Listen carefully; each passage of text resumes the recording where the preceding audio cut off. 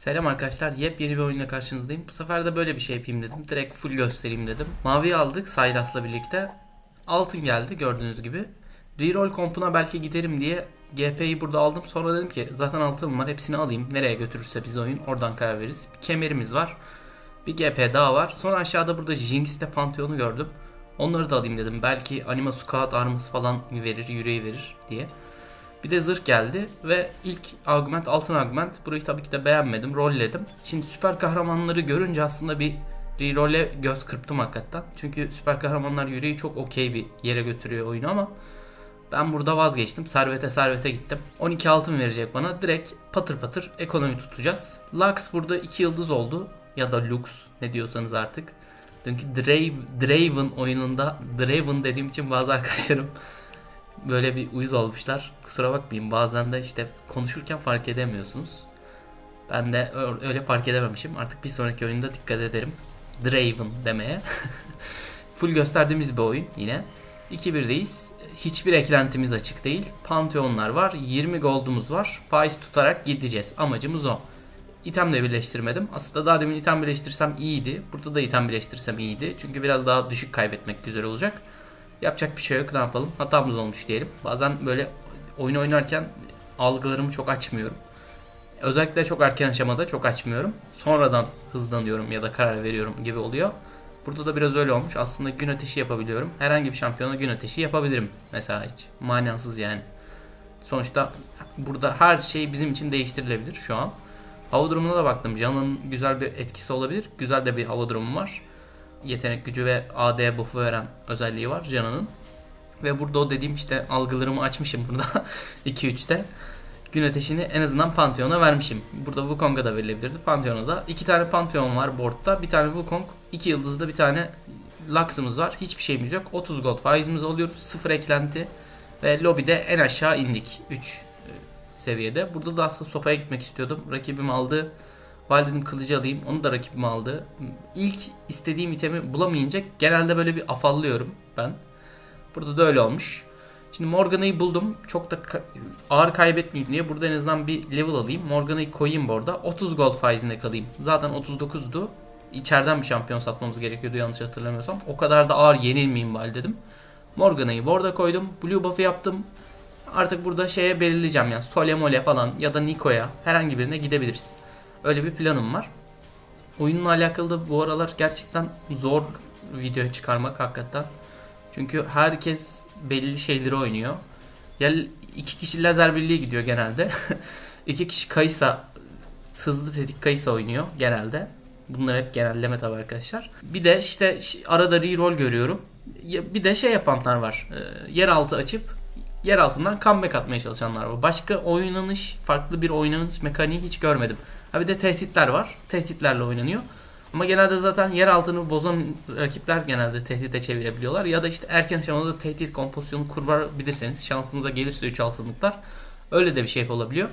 Gerçekten zorlanıyorum şu ara bu içerikleri çıkarmak için. Neyse yapacak bir şey yok ne yapalım. Olur öyle diyelim. Şimdi gelen itemlerle direkt Hextech silah kılıç da yaptık. İyileşmesiz zaten imkansız da benim AP carry veya AD carry fark etmez ya da front carry veya backline carry hiç fark etmez. Her türlü iyileşme eşyasını ben yaparım. Bilenler bilir. Şimdi 3-1'deyiz. 60 gold faizimiz var. Yüreği açabildik en azından. Bir buff'ımız var en azından diyelim. Ama Lux'ın yıldız muhafızı da açık değil. O kadar hızlı mana yenileyemiyor. Yani bu Lux tabii ki de şu an manasız yani şu itemleri vermiş olsam da. Gördüğünüz gibi kaybediyorum. Kaybedebiliriz. Sorun değil. Burada da şampiyon kart geldi. Morgan'ın şu özelliğini hem daha önce denemedim hem de okurken aşırı efektif olduğunu düşünüyorum. Morgan'ın bir tane daha fazladan karanlık bağ atacak. İki tane karanlık bağ atıyor Morgan'a. Bu kartla 3 tane atacak. Ve karanlık bağlar 1 saniye daha fazla sersemletecek. Bence mükemmel bir etki olacak. Kafamızda da tam bir board yoktu. Şu an var en azından öyle söyleyeyim. Şöyle bir şey yapacağım. Kitle kontrol abi. Bu oyunun kilidi kitle kontrol olacak. Göreceksiniz oyun ilerledikçe de. Lux'ı direkt şutladım. Burada savunucuyu açsın diye Rally koydum borda. Aslında aşağıda Ramus var ya Ramus'u koymam lazım. Burada ben hata yapıyorum. Çünkü oyunu gerçekten kitle kontrole yığacağım. Önde Pantheon kesin olacak bundan sonra. Mesela gün ateşini verdim Pantheon'u çıkarırım diye vermiştim ama artık kesinlikle çıkarmayı düşünmüyorum. Yürek açabileceğim bir board kuracağım. Hedefim o. Ve Morgan'ın kitle kontrolünden faydalanmaya çalışacağım. Yani burayı yenmem lazım. 70 gold faizine al, al, almak için ve şu Ramus'u almak için yenmem lazım. Ve Morgan'ımız yenebildi. 2 yıldız olduğu için tabii ki onun da çok büyük efektifliği var. Burada level'ımızı aldık ve diğer kitle kontrol manyağı şampiyonumuz Ramus'u koyduk gördüğünüz gibi. Şimdi artık oyunun kilidi belli. Pantheon, Ramus ve Morgana'nın kitle kontrolleriyle oyunu kazanmaya çalışacağız. Böyle bir boardda görmüyorum çoğunlukla. Yine ilginç olabilecek bir şeyler çıkarmaya çalışayım dedim. Ama işte bu oyunları oynamaya çalışırken de sonuç olarak güçlü olan meta kompularına karşı çok e, yenilme ihtimaliniz çok yüksek. Buna benzer başka oyunlar da var elimde. Ama bu oyunun daha keyifli olduğunu düşündüğüm için bunu yayınlamak istedim. Niko'yu almıştık Karosel'den gördünüz. E, kritiği de vardı. Güzel. Bu kritikle bir şey yapabiliriz. Morgana'ya bir mücevherliği yakışır şu an için. Tamam kitle kontrol manyağı olacak ama hasar atarsa tabii daha da güçlü olacak. Bakalım bizi oyun nereye götürecek bilmiyorum. 3-5'teyiz. Kanalda ilk defa izleyen arkadaşlar için böyle anlatımlı TFT videoları yapıyorum dostlar.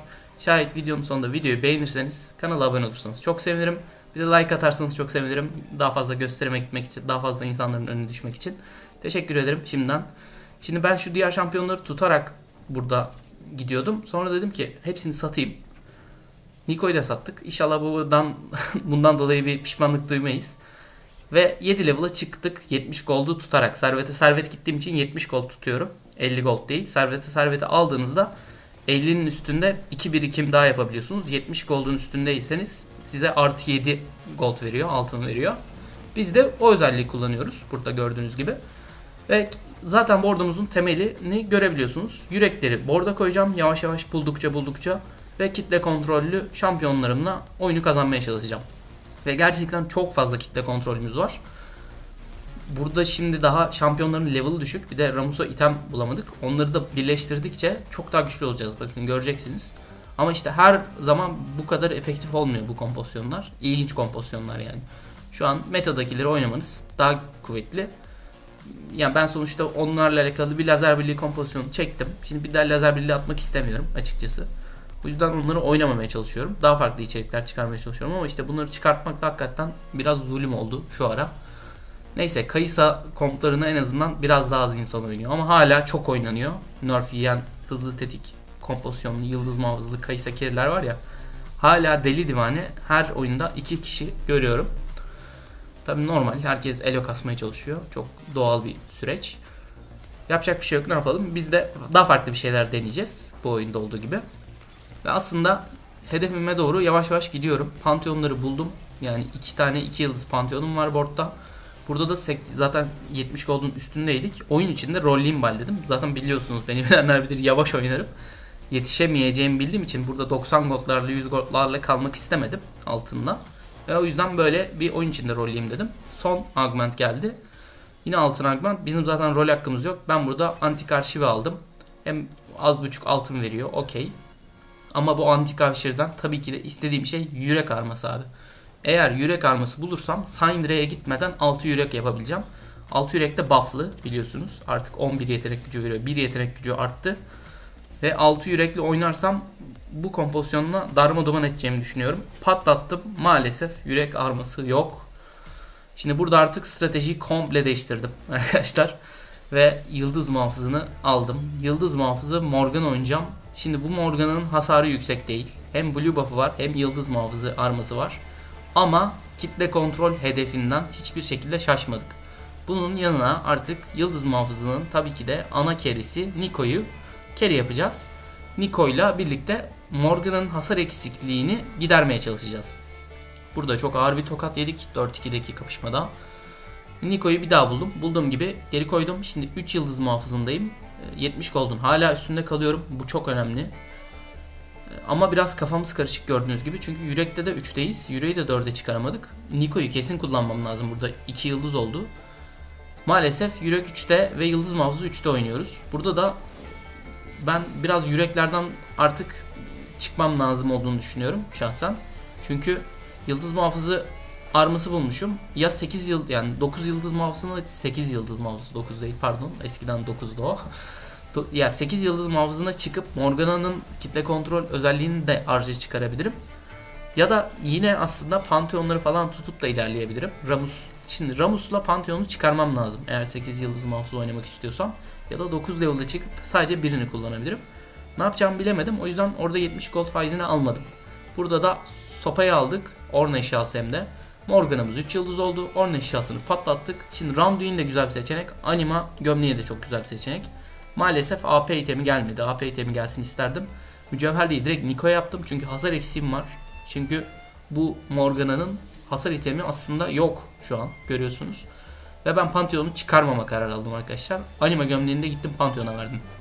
Yine aslında ana hedeften şaşmıyoruz. Ana hedefimiz neydi? Kitle kontrol. Dersimizin adı kitle kontrol. Herkes yani neredeyse yıldız artık boardta yıldız muhafızından başka şampiyonların hepsinin kitle kontrolü olması lazım. Burada da mesela aslında Sona'yı düşebiliriz o yüzden. Ama başka bir kitle kontrol verecek şampiyon aklıma gelmiyor yani. Vardır illaki de benim aklıma gelmiyor. Sona da burada hem büyü şoru açıyor Niko'ya. 25 yetenek gücü veriyor. Hasar eksiğimiz var zaten biliyorsunuz. O yüzden var. Ama hala Yıldız Muhafız 4'te değiliz. En azından 4'e çıkmamız lazım. 4'e çıkarsak %70 mana inleyecek Yıldız Muhafızları. E benim burada zaten iki kerim Yıldız Muhafızı Morgana ve Niko. Kesinlikle benim Yıldız Muhafızını daha yukarı çıkarmam lazım. Bakalım biz neler yapmışız ilerleyen zamanda gör, göreceksiniz. Burada ucu ucuna ucu ucuna derken kazanabildik. Tabi Yıldız Muhafız'ın efektif bir de Blue Buff'ın efektifliğini görüyoruz aslında. Mesela bazı arkadaşlar burada şey diyebilir hemen ona cevap vereyim. Niye Shojin vermedin Blue Buff verdin? Blue Buff'ın bir özelliği var ya rakibe eğer 3 saniye içinde alt ederseniz sizin mananızı bir daha veriyor galiba. Öyle bir özellik veriyor. Daha fazla mana veriyor. Burada Shojin'le farkı o. Ve Morgana 3 saniye içinde rakipleri alt edebiliyor. Daha demin kapışmada görmüşsünüzdür.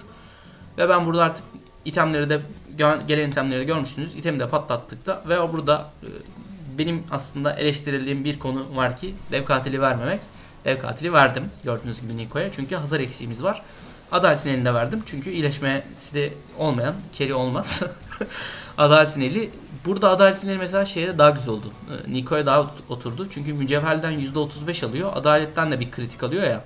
Şu an %80 kritik ihtimalinde hem de dev katili var. Devlere de çok vurabilecek. Bu Niko artık biz oyun boyunca taşıyacağını umut ediyorum. Tabi biz burada yine hedeflerden şaşmayacağız. Kitle kontrol şampiyonlarımızı 3 yıldıza götürmek istiyoruz. Ne bunlar? Pantheon'la Ramus. Çünkü Morgan'ı 3 yıldız yaptık zaten.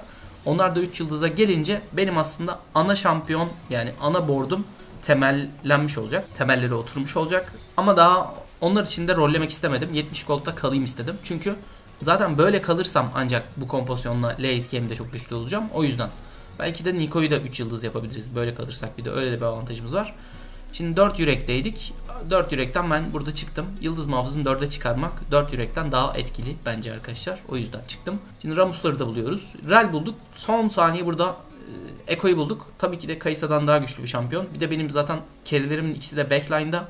Fronttaki şampiyonların daha fazla tutması lazım. Daha fazla tutması için de orada bir şampiyonun daha olması benim avantajım olacak. Bu da Eko'nun olması daha da güzel. Şimdi 4 yıldız muhafızında %70 mana iniliyorlar gördüğünüz gibi. Aslında 6'ya çıkartmak çok daha okey olacak. %120'ye çıkacak 6 yıldız muhafızına çıkarsam. Ama bir şeylerden feragat etmek gerekiyor. Ben burada kesinlikle Pantheon ve Ramus'tan feragat etmek istemiyorum.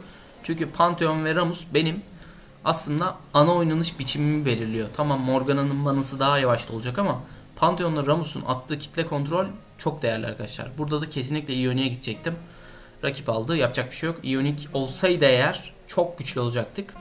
Çünkü yetenek gücü kompozisyonu oynuyoruz. E, rakibin büyü direncini kıracak bir itemimiz yok. Olsa eğer burada mükemmel olacaktı. Yapacak bir şey yok. Dönüşünde Pantheon'umuz 3 yıldız oldu gördüğünüz gibi. Ve o Hex'teki de gittim Pantheon'a verdim abi. şimdi burada beni eleştirenler yine olacaktır ama ya şimdi ben burada Pantheon'un çok önemli bir yer ettiğini düşünüyorum. Çünkü Pantheon çok uzun duruyor. Çok uzun durmasından ziyade bayağı ulti atıyor bayağı ulti attığı için de çok kitle kontrolü uyguluyor. Şimdi bu kitle kontrolün değerini oyun boyunca göreceksiniz.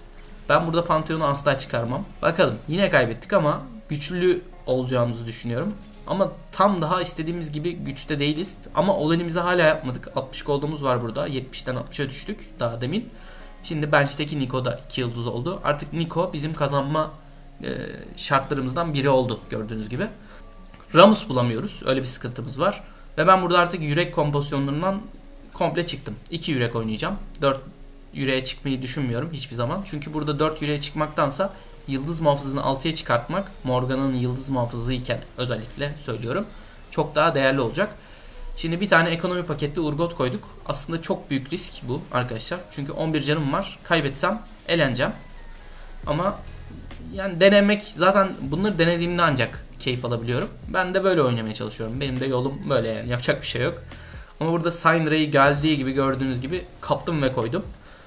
Ve şimdi artık böyle oyun yeni başlıyor gibi bir şey düşünün artık. 11 candayız. Hata payımız yok. Ramus arıyoruz. Sonra da 3'e giderse amenna güzel olur. E, bu rolleri de kesmedim. Burada da aslında biraz kararsızım. Yavaş oynadım. Yavaş oynadığımı düşünüyorum bu aşamada. Ama yani kararsızım ondan dolayı. Çünkü neye doğru evireceğimizi bilmiyoruz abi. Şimdi Ramus da 3 yıldız oldu. Ben oradan da ejder pençesi almıştım. Ramus'un iyileşmesi olsun diye. Gittim zırhı da Ramus'a verdim. Çünkü Ramus biliyorsunuz zırh değeri kadar e, güçleniyor, hasar atıyor. Burada Ramus'un hasardan ziyade ikinci ultisini atabilecek canı olsun. Tek önemli noktam benim o. Çünkü benim Pantheon'um 3-4 tane ulti atıyor. 3-4 tane kitle kontrol demek bu. E, Ramus da ikinci ultisini ki burada mesela ikinci ultisini atabilmiş. Şu an attı. Ben böyle çok güçlü olacağımı düşünüyorum. Zaten bizim ana 3 şampiyonumuz hayatta kaldı gördüğünüz gibi. Burada tabii Sona'nın da olması onlara can bastığı için e, efektif kalıyor. O yüzden de Sona'yı çıkmak istemiyorum ama 6 yıldız muhafıza nasıl çıkacağım Sona'yı düşmeden onu bilmiyorum. Fikri olan varsa söylesin. Level atlayıp düşebilirim kesinlikle. Ama 11 canımız var. Burada level atlamak yerine ben rollemeyi tercih ettim. Hazır Niko'ya da 3 eksikken sonuçta Niko'nun gelme ihtimali çok daha etkili kılacak. Burada Niko'yu 3 yıldız yaparsak zaten kazandık. Mümkün değil yani kaybetmemiz. Ama ben paramı öyle harcadım. Çünkü level alamıyordum. Yetmiyordu paramız. Ee, ama gelmedi. Burada artık dua edeceğiz. Şimdi Syndra'ları da 3 yıldız 2 yıldız yaptık ama e, maalesef borda yetiştiremedik. Artık burada yenilmemeye dua edeceğiz yani. Yapacağımız bir şey yok. Rakipte de büyü direnci kıracak item var. Bizde yok maalesef. Bizde mesela şu Ionic olsaydı gerçekten herhangi bir şampiyonumda burada Ramus'ta falan olsaydı Ionic ben anı, yani şu an olduğumdan çok daha güçlü olacaktım. Ama ne yapalım? Olmadı, dek gelmedi, yapamadık. Olsun. Gördüğünüz gibi Nico en çok hasarı vuran şampiyonum. Çünkü zaten öyle olmasını hedefliyoruz. Zaten burada biz e, Morgana'yı kitle kontrol olarak kullandık. Ve ben burada bir karar aldım. Ve dedim ki Sona'yı 3'e götüreyim. Fiddle köşede duruyor ya. Fiddle'ı sattım. Sona'yı 3'e götüreyim. Ama Sona'yı şimdi bunu da deneyen var mı da bilmiyorum. Bench'ten getireyim. Çünkü 6 yıldız muhafızına çıkmak e, büyü şordan gelen 25 yetenek gücünden daha değerli arkadaşlar. Göreceksiniz. Çünkü benim yıldız muhafızından etkilenen şampiyonlarım daha fazla gördüğünüz gibi boardta. Yani iki şampiyonum çok önemli yıldız muhafızında. Nico ve Morgana. E Morgana'nın kitle kontrolü çok anlamlı. Yani burada da görebiliyorsunuzdur diye tahmin ediyorum. Ya rakiplerde de bir baktım kontrol ettim. Kimse civa abi e, o kadar ezbere oynanıyor ki oyun normal olarak. Çünkü kimse böyle bir kompozisyon yapmıyor. Burada görüyorsunuz Nico 15k vurmuş daha demin. Karosel'de gittik. E, tabii ki de hırsız eldiven aldık. Şey için, Eko için. Eko'muz 2 yıldız ve itemsizdi o yüzden. E, kimse de olmadığı için, e, herkes ezbere oynadığı için kimse civa yapmamış. Civa yapmayınca da böyle patates gibi bir durum oldu. Aslında bu kompozisyon o kadar güçlü değil arkadaşlar. Herhangi bir şam rakibim civa yapmış olsa bizim kompozisyonun tüm etkisi bir anda çok düşüyor. E, gördüğünüz gibi Sona'yı da 3 yıldız yapıp dediğim taktikte kaldım. Bench'te bıraktım Sona'yı. Şimdi burada 2 tane Nico var. Evet ama zaten 6 yıldız muhafızında ben Syndra'nın 2 yıldız Syndra'nın özellikle şey yapabileceğini düşünüyorum. Düşmeden e, bence koy bench'ten alabileceğini düşünüyorum. Burada yine bizim şanssızlığımız bir yıldız Nico'ya attı. İkinci de attı en azından Sona'yı. Abi 3 yıldız Sona'yı dışarıdan getiren herhalde ilk insanımdır. ya burada bilmiyorum. Ya, ilginç oldu gerçekten. Tam videoluk oldu. Ama zaten böyle işte yolda keşfediyorum bazı şeyleri ben de. Zaten ben bu oyunu o yüzden oynuyorum. Hakikaten ezbere oynamak çok keyifli değil. Burada Morgana ilk defa daha deminki kapışmada geçebildi. Gördüğünüz gibi rakipte Civa yok. Çok eşyası var okey ama Civa burada mesela herhangi bir şampiyonda Civa olsa atıyorum Pike'da ve Vex'te Civa olsa ikisinde birden ben herhalde kazanamazdım burayı. Daha deminki kazanmaya atıf olarak söylüyorum. Yoksa belki de kazanamamışızdır yani. Görüyorsunuz ucu ucuna ucu ucuna oynuyoruz. Bilmiyorum yani ezber oynamamak lazım tabi. Ama rakip de çok güzel eşyalar yapmış onun dışında Vex'ine Vex'ine. Çok güzel bir kompozisyonu var. Standart bilinen bir kompozisyon ama çok oynanmıyor. Yine o da istikrarlı bir şey yapmış. Ama her şeyi 3'e götürebildiği için güçlü kaldı. Biz de burada kitle kontrol manyağı olduğumuz için güçlü kaldık gördüğünüz gibi. Artık Morgana da bir tık önüne geçti. Bir orn eşyası daha. Burada ne yapsam bilemedim. Zaten altın toplayıcı burada biraz troll olacaktı. Mana Zeyn aldım ve Niko'ya bir eksiyiz. Niko arıyorum gördüğünüz gibi. Burada Niko'yu 3 yapsak da bir kompozisyonu taçlandırsak harika olurdu hakikaten. E, rolledik, rolledik, rolledik. Maalesef Niko gelmedi dostlar. Burada da son anda Nilah'a e, aldım. Bench'ten yani şey bir yıldız Nilah'la değiştirdim ama maalesef gelmedi. Mana Zeyn'i burada Saynire'ye verdim. E, sona elmiş. Onun farkında değilim. Ama ben yine de burada Sona'yı satmazdım. Burada Sona'yı satıp Niko aramak biraz bence troll olacaktı. Sonuçta 3 yıldız bir şampiyon sokuyorsunuz bench'ten. Öyle yani biz de Saynire'yi böyle oynuyoruz. Ve 7-1'deyiz. Artık zaten kitle kontrolümüzün etkisini görebiliyorsunuz. Yani rakibin şampiyonları şey yapamıyor ki. Yani duramıyor ki. Yani Morgana sürekli ulti atıyor. Pantheon sürekli skill atıyor. Dönüyor Ramus sürekli skill atıyor. Dönüyor Syndra sürekli skill atıyor. Yani hayatta yani kaç K vurmuştur ki şu Vex? Keşke o köşeden baksaydım onun hasarlarına da. Ama gerçekten böyle spektaküler bir video yapayım istedim. Çok da yakıştığını düşünüyorum. O zaman bugünden de size veda ediyorum. İzlediğiniz için çok teşekkür ederim. Hala kanala abone değilseniz abone olursanız çok sevinirim. Olumlu olumsuz cevaplarınızı bekliyorum. Kendinize dikkat edin. Görüşürüz.